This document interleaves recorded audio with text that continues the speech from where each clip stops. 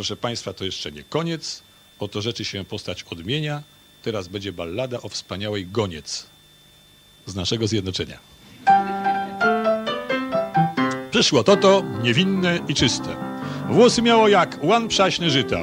I goniło, goniło z wychodzącym pismem, budząc ogólną litość. O! Personalny ją mijał spokojnie. Sekretarka z uśmiechem na twarzy. Strażnik, straszny dziadunio o japońskiej wojnie na przyzbie biura z nią gwarzy. Tak mijały roboczo godziny. Goniec była tak miła, tak słodka, że w nagrodę jej dano raz na imieniny kuponik totolotka. Każdy skreślił po jednej cyferce. Goniec niemal płakała z wzruszenia. No bo co tu ukrywać? Ujął ją za serce gest piękny zjednoczenia.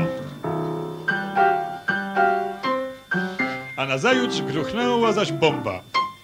Albo z nieba spadł grom, jak kto woli.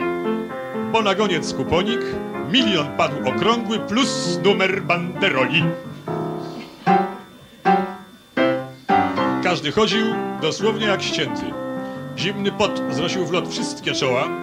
Każdy przecież sam skreślał, ale takiej puenty przewidzieć nikt nie zdołał. Wszyscy wściekli złe słowa miotali.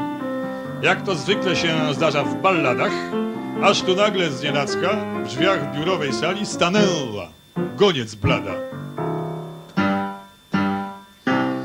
Gdyśmy zaś otoczyli ją tłumem, ona głos załamując z wzruszenia powiedziała wpłaciłam właśnie całą sumę na rozwój zjednoczenia.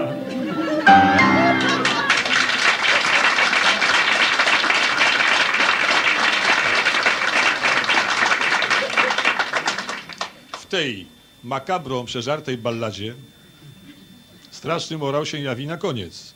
Jakaż kwitnie etyka w wyższych urzędnikach, skoro takie zasady ma goniec.